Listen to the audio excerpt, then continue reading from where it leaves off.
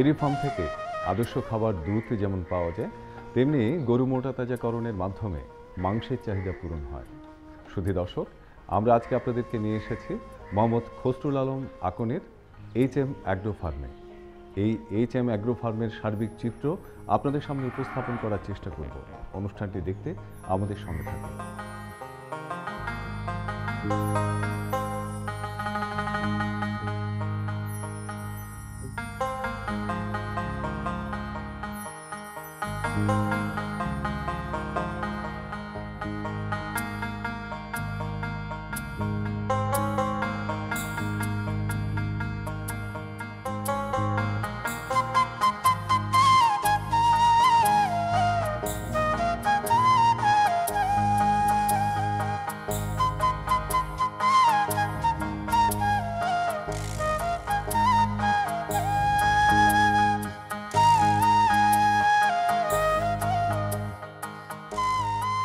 চট্টগ্রামের পতেঙ্গা এলাকায় মোহাম্মদ খসরুল আলম আকন দশটি গরু নিয়ে শুরু করেন এইচ এম অ্যাগ্রো ফার্ম বর্তমানে প্রায় একশো পঞ্চাশটি দুগ্ধজাত ও মোটা তাজাকরণের গরু রয়েছে তার খামারে, যা থেকে তিনি দুধ এবং মাংসের চাহিদা পূরণে ভূমিকা রাখছেন।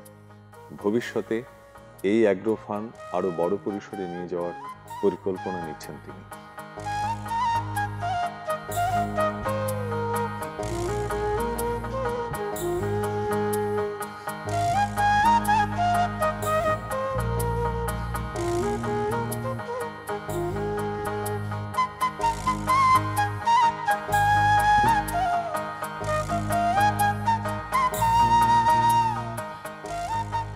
শুধু দর্শক আমরা এখন কথা বলব এইচ এম অ্যাগ্রো ফার্মের স্বত্বাধিকারী মোহাম্মদ খসরুল আলম আকন ভাইয়ের সাথে। কেমন আছেন আপনি? আলহামদুলিল্লাহ ভালো আছি। আপনি কেমন আছেন? জি আমিও ভালো আছি। আমরা আজকে আপনার এই ডেইরি এবং গরু মোটা তাজাকরণের ফার্মে চলে এসেছি। তো আপনার কাছে জানতে চাইব এই যে ফার্মটা গড়ে তুললেন এটি আসলে কত সাল থেকে শুরু করেছেন এবং শুরুর দিকটা আসলে কেমন ছিল? আমরা উনিশশো আঠারো সালে আমরা শুরু করেছি। আমার খামারের বয়স পাঁচ বছর হলো। প্রথমে আমরা শুরু করেছিলাম দশটা গরু দিয়ে। এখন আমার এখানে খামারে একশো পঞ্চাশটি গরু আছে। আমরা এখানে বিশেষ করে যে গরুগুলো আছে, আমরা গরু থেকে মোটা দাদাকরণ করি এবং আমরা এখানে যেটা ডেইরি আছে, ডেইরি থেকে আমরা প্রায় দেড়শো থেকে দেড়শো লিটার দুধ আমরা সংগ্রহ করি। যেটা আমাদের একটা চেইন শপ আছে, হালি শহর মাঠ। হালি শহর মাঠে আমরা দুধ এবং মিষ্টি জাত দ্রব্য তৈরি করে থাকি এবং সাধারণ যারা জনসাধারণ আছে, তারা আমাদের এখান থেকে দুধ সংগ্রহ করে থাকে।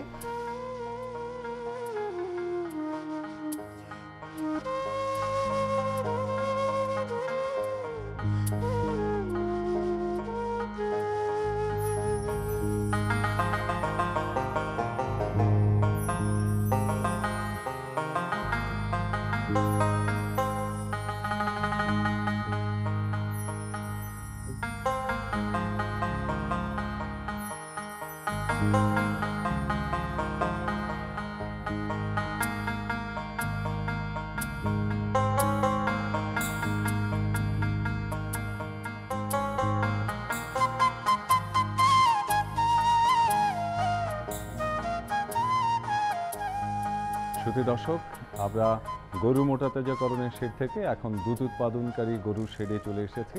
আমরা এখন কথা বলব আবারও মোহাম্মদ খসরুল আলম, আকন ভাইয়ের সাথে। আকন ভাই আপনার কাছে জানতে চাইব, এই যে দুধ উৎপাদনকারী গরু আপনার এখানে রয়েছে, এখানে আসলে কতটা গরু রয়েছে এবং কি পরিমাণ দুধ পাচ্ছে?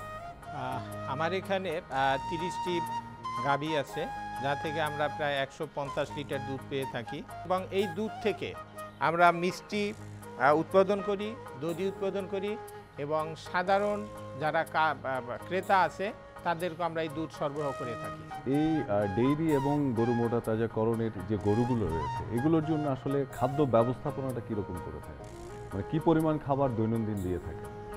আমরা সাধারণত গরুকে প্রতিটা গরুকে পাঁচ থেকে সাত কেজি আমরা কাঁচা ঘাস দিয়ে থাকি দানাদার খাবার দিয়ে থাকি চার থেকে পাঁচ কেজি দানাদার খাবার দিয়ে থাকি আমরা খড় দিয়ে থাকি সাত থেকে আট কেজি খড় দিয়ে থাকি।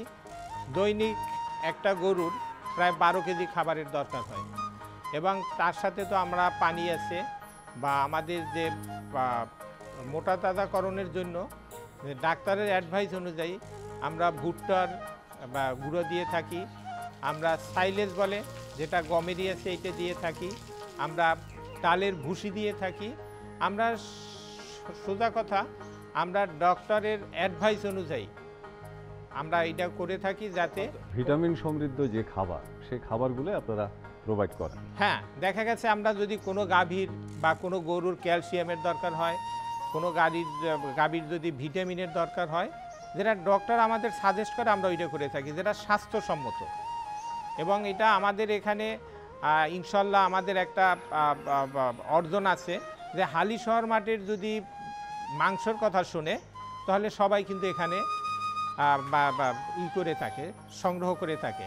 আমাদের যার জন্য আমরা এইচ এম ডেইরি ফার্ম, আমাদের ওইটার সাথে নাম সমন্বয় করে রাখা হয়েছে এইচ এম ডেইরি ফার্ম।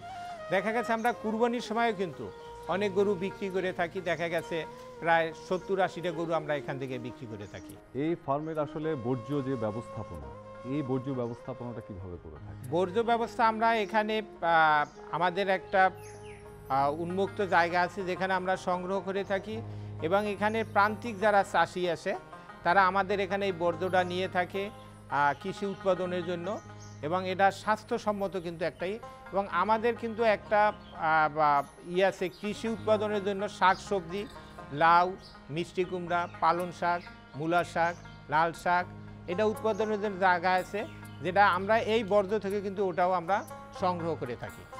আর সাতজন কর্মী আছে, যে সাতজন কর্মী আমরা প্রতিদিন তিন থেকে চারবার করে আমরা পরিষ্কার করে রাখি। দেখা গেছে যে গাভী দুইবার করে আমরা দুধ সংগ্রহ করে থাকি। দুইবার তো আমরা দুধ সংগ্রহের পূর্বে পরিষ্কার পরিচ্ছন্ন করা হয় এবং গাভীকে দুইবার করে গোসল করানো হয়।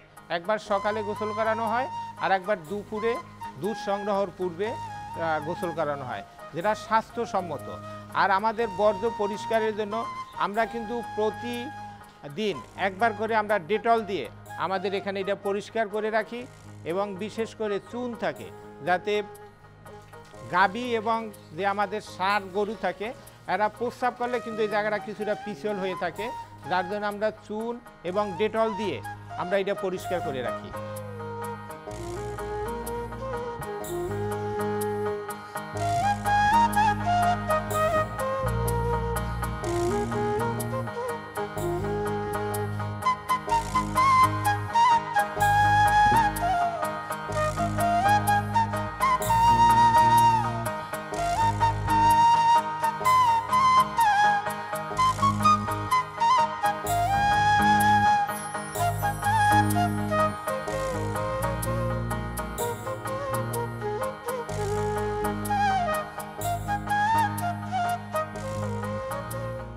মানুষের শারীরিক বৃদ্ধি ও মানসিক বিকাশের জন্য দুধ ও মাংসের প্রয়োজনীয়তা অপরিহার্য। একজন প্রাপ্তবয়স্ক ব্যক্তির জন্য দৈনিক দুশো পঞ্চাশ মিলিলিটার দুধ ও একশো বিশ গ্রাম মাংসের প্রয়োজন। তার বিপরীতে আমরা পাচ্ছি একান্ন মিলিলিটার দুধ ও বিশ গ্রাম মাংস। দেশে জনসংখ্যা বৃদ্ধির সাথে সাথে দুধ ও মাংসের চাহিদাও বৃদ্ধি পাচ্ছে। দেশে দুধ ও মাংসের ব্যাপক চাহিদা পূরণ করতে হলে আরও অনেক গাভীর খামার স্থাপন করা প্রয়োজন।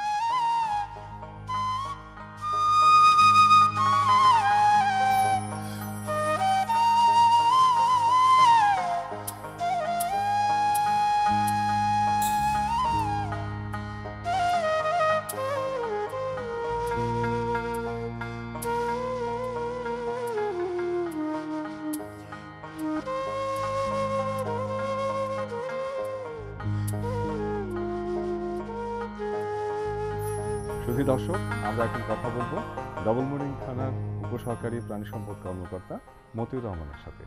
কেমন আছেন আপনি? জি ভালো আছেন আপনি ভালো আছেন? জি ভালো আছি। আপনার কাছে জানতে চাইব এই যে ডেইরি ফার্ম এবং প্যাটার্নিং ফার্ম এইটি গড়ে তোলার জন্য আসলে কি কি বিষয় লক্ষ্য রাখতে হয়?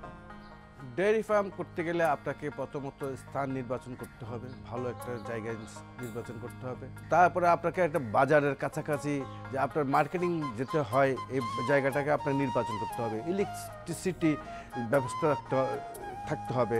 আবার পয় নিষ্কাশন, যে পানিগুলো যাবে ড্রেনেজ সিস্টেম এটা লক্ষ্য রাখতে হবে। আপনার বাজার, যে আপনি বাজার যে পণ্যটাকে বাজারজাত করার জন্য আপনাকে ওই সুবিধাটা থাকতে হবে এবং যাতায়াত ব্যবস্থাটা ঠিক থাকতে হবে। এগুলো হচ্ছে একটা ফার্ম প্রতিষ্ঠিত করার জন্য এটা মৌলিক চাহিদা। মৌলিক কারণগুলো হচ্ছে এগুলো। আর তারপরে আপনি যখন আপনি ডেয়ারি ফার্ম করতে যাবেন এখানে ফার্মিংটা দুইটা আছে। একটা ডেয়ারি, একটা ফ্যাটেনিং। ডেয়ারিটা হচ্ছে দুধের জন্য, ফ্যাটেনিং হচ্ছে মাংসের জন্য। ডেয়ারি করতে গেলে আপনাকে ভালো জাতের গরু সংগ্রহ করতে হবে। জাতগুলোর নির্বাচন করার ক্ষেত্রে বয়স একটা বিষয় আছে। বয়সটা আপনাকে ঠিক থাকতে হবে এবং দুধের প্রোডাকশন কেমন, তার জাতটা কেমন, তার পূর্বপুরুষটা কীভাবে দিয়ে আসছে, এগুলি দিকে আপনাকে লক্ষ্য রাখতে হবে। আর যদি আপনি ফ্যাটেনিং করতে যান, এখানে আবার একটা বয়স আছে। ফ্যাটেনিংটা করতে হয় সাধারণত, এই দেড় বছর থেকে দুই বছরের মধ্যে, অর্থাৎ দুই দাঁত হলেই পরে আমরা এটাকে গ্রোয়িং স্টেজে বলি ওটা করতে গেলে আপনাকে জাতটা নির্বাচন করতে আপনার বয়সটা নির্বাচন করতে হবে, তারপর লম্বা হাইটটা বাড়তিটা গঠন গঠনটার দিকে লক্ষ্য রাখতে হবে। পাশাপাশি আপনার মনে করেন তার কালার বিষয় আছে কালারের দিকে লক্ষ্য রাখতে হবে। সার্বিকভাবে তার একই জিনিস, দুইটা ডেয়ারি এবং ফ্যাটেনিংয়ের মধ্যে জাতটাই হচ্ছে প্রধান। আর পাশাপাশি তো ও আপনার বাজারজাতকরণের বিষয়টা আপনার মাথায় রেখে আপনাকে ফার্মের দিকে আগাইতে হবে। এই ফার্ম গড়ে তোলার জন্য আসলে খাবার ব্যবস্থাপনাটা কেমন হতে হয়? খাবারের দিকটা আসলে অত্যন্ত জরুরি। তো এই বিষয়টা নিয়ে যদি একটু বলতেন। ফার্মের জন্য আপনাকে সুষম খাদ্যের ব্যবস্থা করতে হবে। সুষম খাদ্যের মধ্যে আপনার শুধু গমের ভুসি ডা- এ, কু- কুড়া এটা তো না। সাথে সাথে তার ক্যালসিয়াম মিনারেলস যে জিনিসগুলোতে আছে এদিকে আপনাকে খেয়াল রাখতে হবে। পাশাপাশি আপনাকে খাবারের প্রোটিনটাও খেয়াল রাখতে হবে। খাবারের যে লাইসিসগুলো যেগুলো আছে এটা আদৌ সঠিক কিনা এগুলি খেয়াল রাখতে হবে। আপনি যথাসময়ে যথাযথ খাদ্য না দিলে গরু কখনো ভালো দুধও দেবে না পাশাপাশি তার গঠনও ভালো হবে না। এই জন্য খাবারটাই হচ্ছে ফার্মের জন্য একটা প্রধান উপাদান। গাভীর রোগবালাই সম্পর্কে যদি একটু বলতেন এই রোগবালাই ব্যবস্থাপনাটা আসলে কেমন হওয়া উচিত? কিছু ভ্যাকসিনেশন আছে এগুলি না করলে আপনার আপনার ফার্মটা টিকাতে পারবেন না। প্রথমত আপনার খুরা রোগের টিকা। ছয় মাস পর পর আপনাকে খুরা রোগের টিকা দিতে হবে। বাদলা রোগের টিকা। আপনি বাদলা রোগের টিকা ছয় মাস পর পর দিতে হবে। আপনি তরকা রোগের টিকা আপনাকে ছয় মাস পর পর দিতে হবে।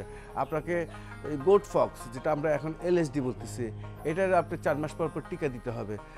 গলা ফুলের টিকা বছরে দুইবার দিতে হবে। আপনাকে টিকাটা রেগুলার করতে হবে। তাহলে ওই রোগগুলি থেকে আপনি মুক্তি পাবেন। এবং পাশাপাশি আপনার মানে ফার্মিংটা আরেকটা বড় ব্যাপার হচ্ছে, আপনি রোগবালাই থেকে মুক্ত থাকতে হলে বিশেষ করে গাভীর ক্ষেত্রে আপনাকে ফ্লোরটা পরিষ্কার রাখতে হবে যাতে গরুর একটা রোগ হয়, মারাত্মক রোগ, সেটা হচ্ছে ম্যাস্টাইটিস ওলান প্রদাহ। এটা কিন্তু সাধারণত ফ্লোর থেকে এই রোগটা বেশি হয়। এই ফ্লোরটাকে আপনি নিয়মিত পরিষ্কার করা, শুষ্ক করে রাখা এবং গরু থেকে হাঁটা চলা করান, তাহলে আপনার এই রোগগুলি থেকে অন্তত আপনি এইটটি থেকে নাইনটি পার্সেন্ট আপনি মুক্ত থাকতে পারবেন। আপনাকে এই বিষয়গুলো মাথায় রেখে আপনাকে ফার্ম করতে হবে।